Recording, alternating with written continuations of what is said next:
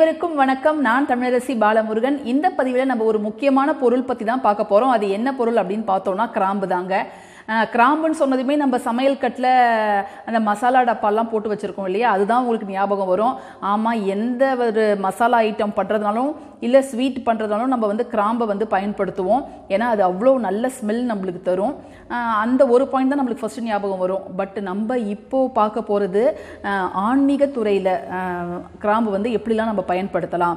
அதாவது நம்மளுடைய வாழ்க்கையை மேம்படுத்தி கொள்றதுக்கு நம்ம கிராம்பை எந்தெந்த வகையில் பயன்படுத்தினா நம்மளுக்கு அது நல்ல பலன்களை தரும் அப்படின்னு தான் நான் உங்ககிட்ட பகிர்ந்துக்க போகிறேன் இந்த உணவில் கிராம்பு பயன்படுத்துறது மட்டும் இல்லாமல் அடுத்த கிராம்போட பயன்கள் அப்படி என்னன்னு பார்த்தோம்னா அது மருத்துவ ரீதியாக பல பயன்களை நம்மளுக்கு தரக்கூடியது.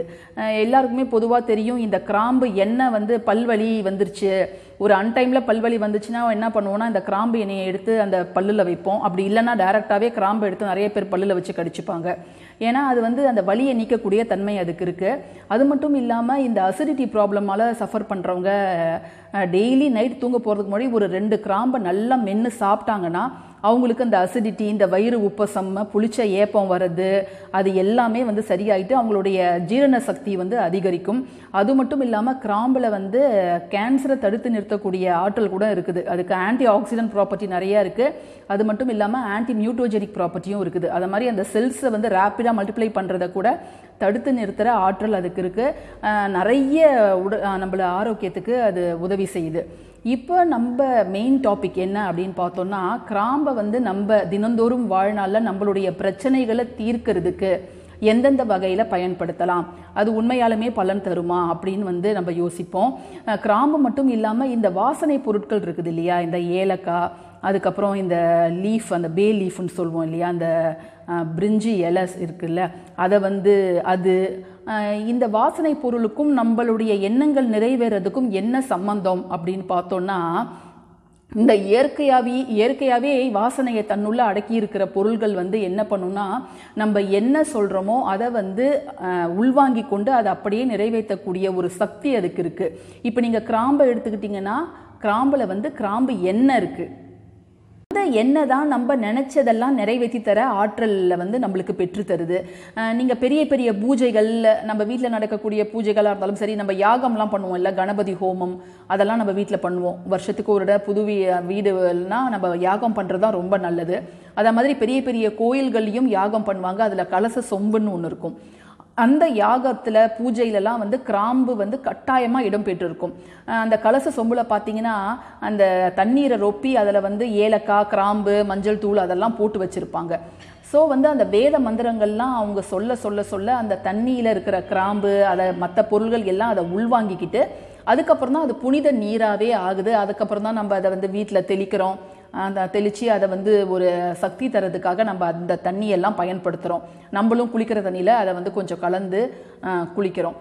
இதை மாதிரியான சிறப்புகள்லாம் இருக்கிற கிராம்பை நம்ம வந்து பயன்படுத்தக்கூடிய முதல் விஷயம் என்ன அப்படின்னு பார்த்தோம்னா இன்றைக்கு பல பேர் வந்து இந்த கஷ்டத்தால் ரொம்பவே வந்து அவதிப்படுறாங்க. அதாவது நம்மளுக்கு வேண்டிய உறவுகள் நம்ம விட்டு பிரிஞ்சு சென்று சென்று செல்றது. அதாவது நம்மளை புரிஞ்சுக்காமல் வந்து பிரிஞ்சு போயிடுறது. வாழ வேண்டிய காலத்தில் பல வருடங்கள் வந்து பிரிஞ்சே நம்ம வாழ்நாளை வந்து தள்ளுறது. கணவன் மனைவி பிரிஞ்சிருக்கிறது. அதுக்கப்புறம் அம்மாவும் பொண்ணும் பிரிஞ்சிருக்கிறது. அப்பாவும் பிள்ளையும் பிரிஞ்சிருக்கிறது. பெற்றவங்களை வந்து பசங்க வந்து பிரிஞ்சிருக்கிறது.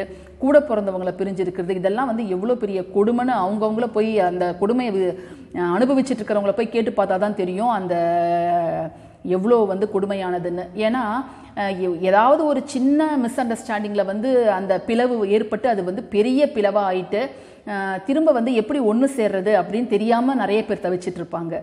இத்தகைய உறவுகளில் பிரிவு இருக்கிறது இல்லை உறவுகளில் சிக்கல் இருக்கிறது பேச்சுவார்த்தை இல்லாமல் இருக்கிறது போக்குவரத்து இல்லாமல் இருக்கிறது இதை மாதிரியான பிரச்சனைகளை வந்து தீர்றதுக்கு அதாவது பேச்சுவார்த்தையே இல்லை பேச்சுவார்த்தை இருந்தால் தானே நம்ம சம சமாதானத்துக்கு போய் நம்ம கூப்பிட முடியும். பேச்சுவார்த்தையே இல்லை நான் எப்படி வந்து அந்த உறவை வந்து புதுப்பிக்கிறது அப்படின்னு நிறைய பேர் குழப்பிட்டு இருப்பாங்க. ஸோ அவங்களுக்கெல்லாம் இப்போ நிறைய வீட்டில் வந்து கணவன் மனைவிக்குள்ள பிரச்சனை வந்துடுது அதாவது கணவன் வந்து மனைவியை விட்டுட்டு வேற ஒருத்தவங்களோட இல்லீகல் அஃபேரில் போயிடுறது.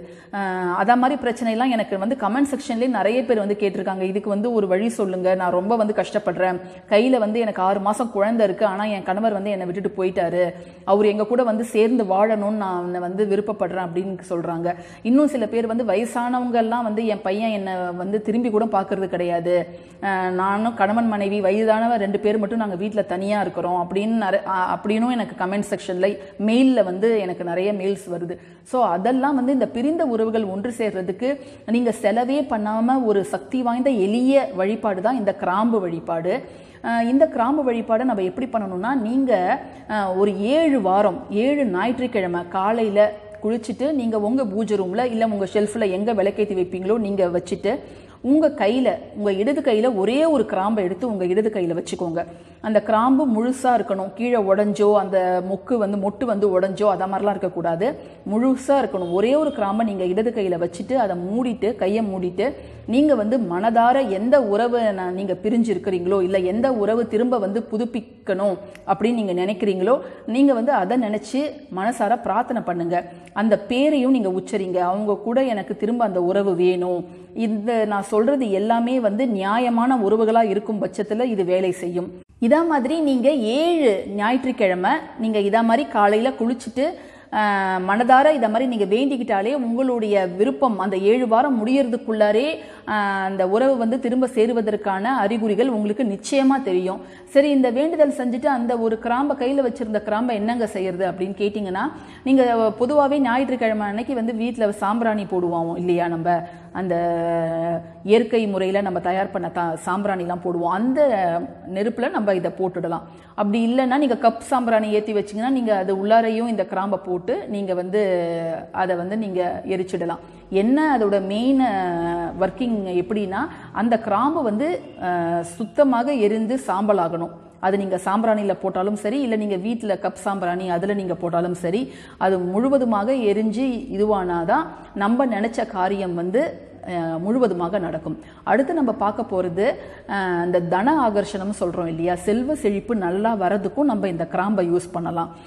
இது இந்த ஒரு இதுக்கு தான் பயன்படும் அப்படின்னு இல்லாமல் கிராம்பை வந்து நம்ம மாலையாக கட்டி நம்ம மகாலட்சுமி தேவிக்கு நம்ம மகாலட்சுமி பூஜை பண்ணும்போதும் போட்டோம்னா அதுலேயும் வந்து அது அதோட சக்தி வந்து வேற மாதிரி இருக்கும். நம்மளுடைய கஷ்டங்கள் எல்லாம் தீர்ந்து இப்போ பண கஷ்டம் எவ்வளோ கஷ்டம் இருந்தாலும் அதெல்லாம் தீர்ந்து நம்மளுக்கு வந்து குறைவில்லாத செல்வ வளத்தை கொடுக்கக்கூடிய ஆற்றல் வந்து இந்த கிராம்பு மாலைக்கு இருக்கு.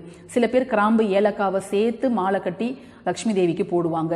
அத மாதிரி இந்த தன ஆகர்ஷணம் வேணும் அப்படின்னு நினைக்கிறவங்க என்ன பண்ணணும்னா தொடர்ந்து பதினோரு நாள் பதினோரு நாள் இரவு தூங்க போகும் முன்னாடி ஒரு ரெண்டு இல்லை மூணு கிராம்பை எடுத்து ஒரு அகல்ல கற்பூரத்தோட வச்சு அதை நீங்கள் கற்பூரத்தை நீங்கள் ஏற்றிட்டா போதும். அதோட சேர்ந்து இந்த கிராம்பும் நல்லா வந்து எரிஞ்சிடும்.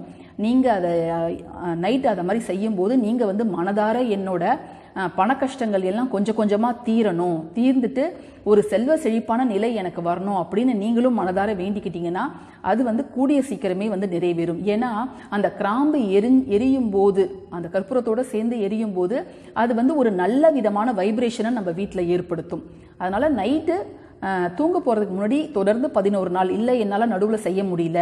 அந்த ஞாயிற்றுக்கிழமை என்னால் செய்ய முடியும் தொடர்ந்து ஏழு ஞாயிற்றுக்கிழமை செய்ய சொன்னேன் இல்லையா? அது ஆண்களாகவும் இருக்கலாம் பெண்களாகவும் இருக்கலாம் யார் வேணாலும் செய்யலாம். அது நடுவில் என்னால் செய்ய முடியல. அந்த அந்த டைமில் எனக்கு வந்து வீட்டு விளக்காயிடுச்சு. அப்படின்னா நீங்கள் அந்த வாரத்தை ஸ்கிப் பண்ணிடலாம் ஸ்கிப் பண்ணிடலாம். இதே தான் இந்த பதினோரு நாளுக்கும். என்னால் செய்ய முடியலன்னா நீங்கள் அதை ஸ்கிப் பண்ணிவிட்டு அடுத்த நாளை வந்து நீங்கள் கண்டினியூஸாக கவுண்ட் பண்ணி நீங்கள் கணக்கில் எடுத்துக்கலாம். ஸோ இதை நீங்கள் செஞ்சு பார்த்தீங்கனாலே உங்களுக்கு நல்ல விதமான மாற்றங்கள் தெரியும். அப்படி மாற்றங்கள் நல்ல விதமாக இருந்துச்சுன்னா கட்டாயமாக கமெண்ட் செக்ஷனில் என் கூட ஷேர் பண்ணிக்கோங்க. ஸோ தட் அதை படிக்கிறவங்க மற்றவங்களுக்கும் அது வந்து ஒரு நல்ல வழிகாட்டுதலாக இருக்கும். தன ஆகர்ஷணத்துக்கு நம்ம மூணு கிராம்பையும் ஒரு கற்பூரத்தையும் நம்ம இதை மாதிரி ஒரு அகல் விளக்கில் வச்சு இந்த கற்பூரத்தை வந்து நம்ம ஏற்றிட்டோன்னா இந்த கிராம்பும் அதோட சேர்ந்து கம்ப்ளீட்டாக வந்து எரிஞ்சு சாம்பலாயிடும். இதை வந்து நீங்கள் வீட்டில் ஹாலில் கூட வச்சு பண்ணலாம் இல்லை பூஜை ரூமில் கூட வச்சு பண்ணலாம். இதில் ஒன்றுமே தப்பு கிடையாது. இதை தான் நீங்கள் பதினோரு நாள் தூங்க போகிறதுக்கு முன்னாடி நீங்கள் இதை மாதிரி செய்யும் போதே நீங்கள் நல்ல மனதார பிரார்த்தனை செஞ்சீங்கன்னா உங்களுடைய பண கஷ்டங்கள் படிப்படியாக குறைஞ்சிட்டு உங்களுக்கு அதாவது வர வேண்டிய பணம் வந்து சேரும். அதை மாதிரி உங்களுடைய செல்வ நிலை வந்து உயர்றதுக்கு பல வகையில் இது வழி செய்யும். நீங்கள் வந்து இதை மாதிரி எரிய வச்சதுக்கு அப்புறமா அந்த மூணு கிராம்பும் முழுவதுமாக எரிஞ்சிருக்குதா அப்படின்னு நீங்கள் வந்து செக் பண்ணிக்கோங்க. இதை மாதிரி நீங்கள் செஞ்சிட்டாலே உங்களுடைய வேண்டுதல் வந்து முழுவதுமாக நிறைவேறும். இப்போ வந்து நம்ம எரிச்ச கிராம்பு நல்லாவே வந்து இதில் பேர்ன் ஆயிடுச்சு. ஸோ அதை தான் நீங்கள் இப்போ பார்த்துட்ருக்குறீங்க இதை மாதிரி ஆகிற வரைக்குமே நீங்கள் வந்து இதை வந்து நீங்கள் எரிச்சிடணும். அப்போ தான் வந்து இதோட நம்மளுடைய வேண்டுதல் வந்து பூரணமாக நிறைவடையும். பிடிச்சிருக்கும்னு நான் நினைக்கிறேன். பிடிச்சிருந்தா கட்டாயமாக லைக் பண்ணுங்கள் ஷேர் பண்ணுங்கள் நம்ம சேனலுக்கு சப்ஸ்கிரைப் பண்ணுங்கள் கூடவே பக்கத்தில் இருக்கிற பெல் பட்டனையும் தட்டி விடுங்க ஸோ தட் நான் போடுற எல்லா வீடியோஸும் உங்களுக்கு வந்து சேரும். தேங்க்யூ ஃபார் வாட்சிங் திஸ் வீடியோ நன்றி.